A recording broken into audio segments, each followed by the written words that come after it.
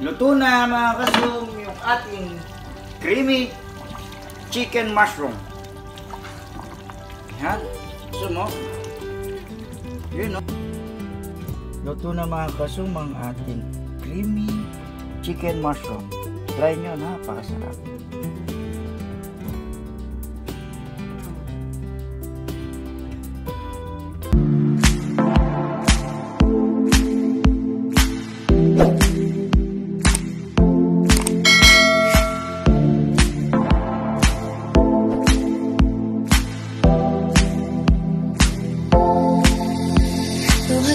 What's up mga kasum? Kumusta po kayo lahat dyan? Lalo na sa nagdaang bagyo. Sana lahat kayo ay okay naman, ayos naman ang kalagayan ninyo. Ngayong araw na to mga kasum, samahan nyo ako magluto ng creamy chicken mushroom. Let's go mga kasum! Yan mga kasum ang gagamitin natin sangkap sa pagluto natin ng creamy chicken mushroom. Sibuyas, bawang, garlic powder, paminta, black pepper or white pepper, passion pepper, oh, ito, tapos chili powder, iodized salt, oil,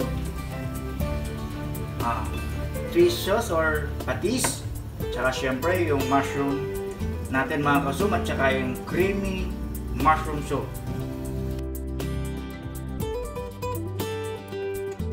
At yan naman ang chicken na gagamitin natin sa pagluto mga kasum.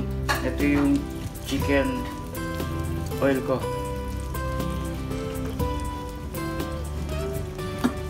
Sibuyas muna mga kasum. Bawang. Hmm, bango. Sunod na natin yung sibuyas. Kanina bawang mga kasum.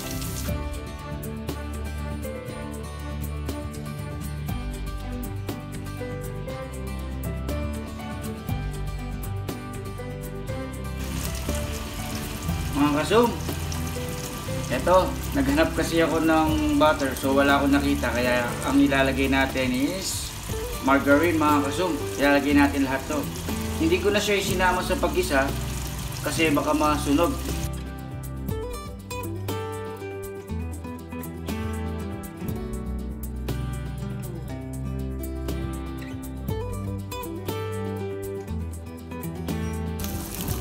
Yan mga kasum.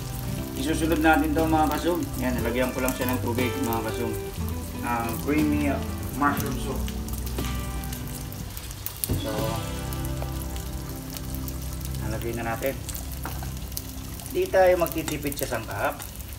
Ihalo na natin yung mushroom mga kasum. Yun no?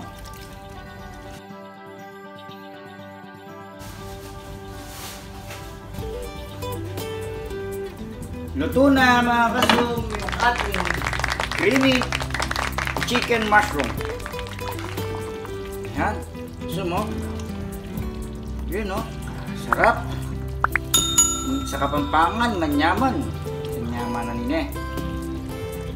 Try nyo po. Napakasarap talaga.